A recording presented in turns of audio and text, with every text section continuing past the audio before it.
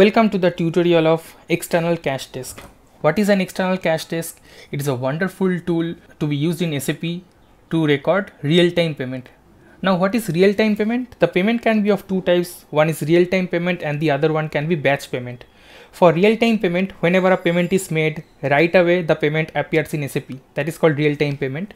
And for batch payment, it is like suppose we make payment throughout the day and say at 6 pm all the payments are collected and the payments are posted at 6 pm. So whenever suppose a customer makes a payment at 10 am, that payment reflects in SAP at 6 pm. So that is called batch payment. A lot of client comes to us and ask us to configure or develop a real-time payment. So you can use external cash desk.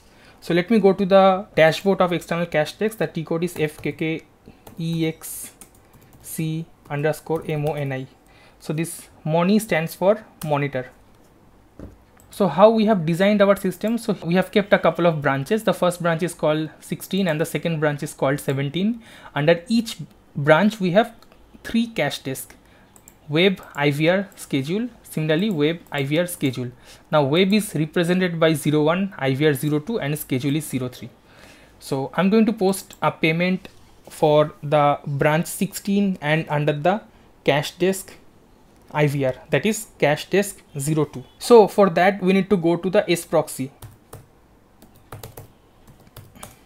Now standard SAP provides us a couple of web services or API via which we can automate the real-time payments. So I have put those uh, web services under my favorites. So the first one is called cash point payment create notification underscore in. I'm going to put this web service name in the description below don't worry so just double click on this web service and click on execute.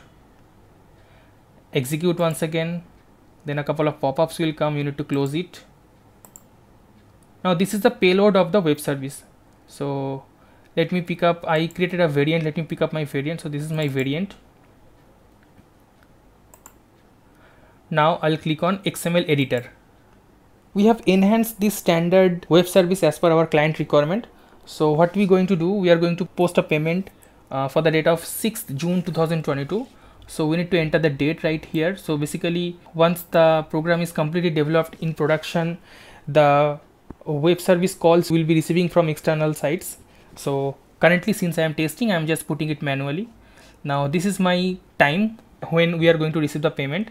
Now here we need to enter the this cash desk. So my cash desk is ivr let me put in ivr here we need to enter the uh, branch. My branch is 16 so i'll keep it 16 next this is the payment group reference id so i'm going to keep it same as the date id that is 2022 0606 next we need to enter the payment transaction id so for each transaction there has to be a unique payment transaction id i'm just keeping the date 2022 0606001 so this is my first payment of 6 june. So i'm entering as uh, 00 adding this 001 next to the date.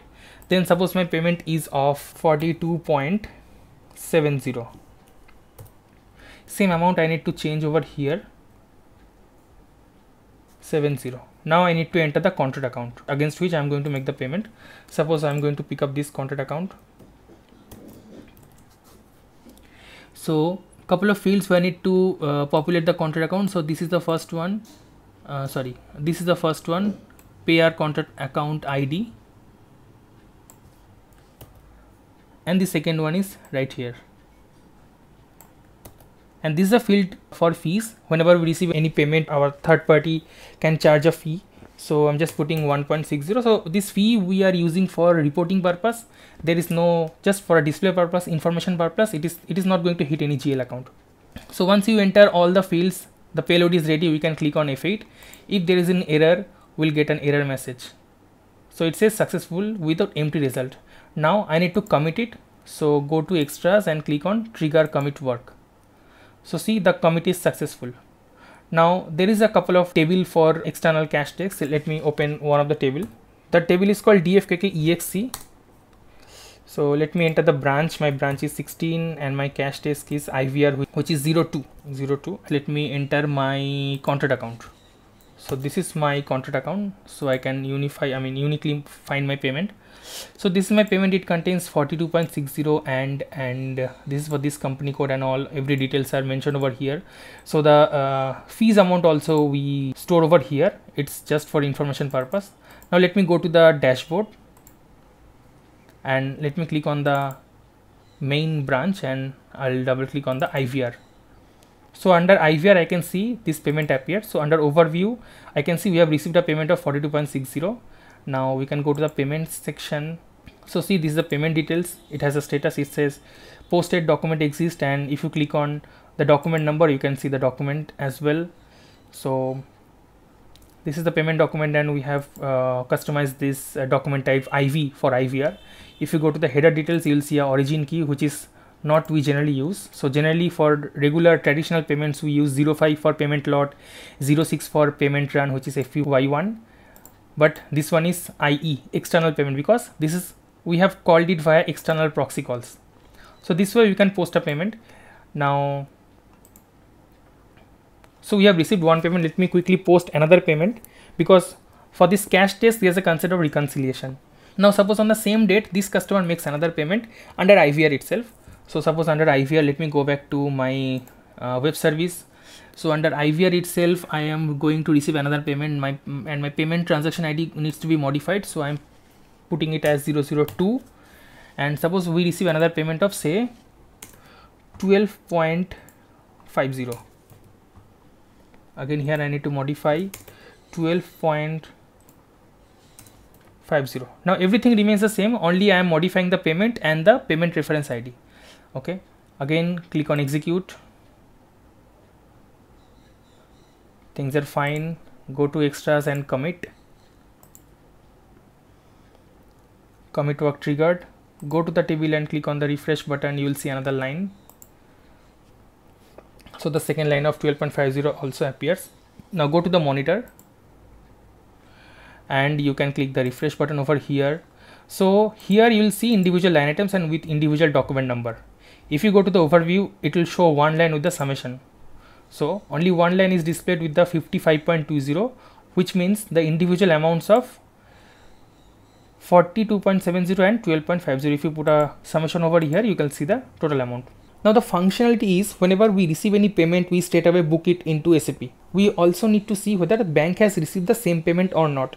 Now suppose bank has received a payment of say $50 it may happen that in SAP we received some due to some mistake we have received a higher payment amount or we can receive a lower payment amount compared to the actual amount that is being posted to the bank. So we need to do a reconciliation. Now for reconciliation there can be two way we can reconcile. Either at the end of the day bank will send us a bank reconciliation statement. That statement may contain the entire 55.20 amount. In that case the payment gets reconciled. Okay? Or the bank may receive an dif a different amount say 60 rupees sorry say 60 dollar or 50 dollar. So in that case what will happen? There will be a difference. So currently if i go to my overview screen so this one is yellow okay? That means it is still open. Now we need to close the cash desk with the actual amount. So for that there is also another proxy. So let me come out of the first proxy. So this is the second proxy let me double click on it. Its name is cash point closing document notification underscore in. So double click on this proxy and click on execute. Execute. Close the couple of pop-ups. Close. Close. Now let me get the variant. The variant is here so let me use the latest one. Close. So this one is this payload is very small. Now click on this xml editor. So i'm going to close 16 and branch 16 and cash desk 02 that is IVR so let me so this is we are receiving for 06 06 2022 and so we are receiving for IVR so I need to enter the cash desk name which is IVR and here my branch is 16 so I'm putting it 16 and this is the date 06 06 now this is the closing amount. So at the end of the day bank will send us a reconciliation statement where we can either receive the full amount or we can receive a different amount. So suppose in my example i am receiving so in SAP we have received a payment of 55.20 but suppose bank sends us a payment receipt of say 52 dollar so i'm going to enter 52.00 so that means there's a difference okay? And i need to enter the value date which is 06 06 2022 okay and here cash point group reference id i need to mention. So my group reference id is 2022 0606 so i need to make sure that these id matches. So my group references uh, id is also same. So it is going to close this cash desk id so once it is this is done click on execute. So it is successful then click on commit. Commit is also successful. Now go back to the monitor screen and change see the difference. So currently the status is yellow. That is grouping key open. Now click on refresh so you'll see the reconciliation amount appears. So currently the payment amount is 55.20 but bank has sent us a actual payment receive of 52 dollar. So that means although in sap we have credited uh, bank account with sorry we have received we have debited bank account with 55.20 but bank says that they have actually received 52 dollar. So this is the difference. So either bank can send us the same amount that way this will always be green this status button. But i am showing you an example where the bank has bank is sending us a different amount. Okay so there is a difference of around 3.20 so this difference we can also uh, see here under gl account posting. So see 3.20 is a difference. Okay now what we need to do we need to select this line item and there is a button called post differences. Okay now once we post this difference this is going to be a gl to gl item. There is no business partner will be involved. Uh, i'm going to click on post differences and i need to enter the external id of payment bank sends us the reconciliation statement it may send us a external id so using a test external id i'm clicking on save now see difference posting successful under document number this. So the difference is posted successfully. Okay. So let me open the document number quickly. So this is the document number, the difference of 3.20. So see, so both of them are GL account. These are GL lines. So there is no business partner line item. So this document we cannot see under FPL9 of any particular contract account or business partner because this is GL to GL posting.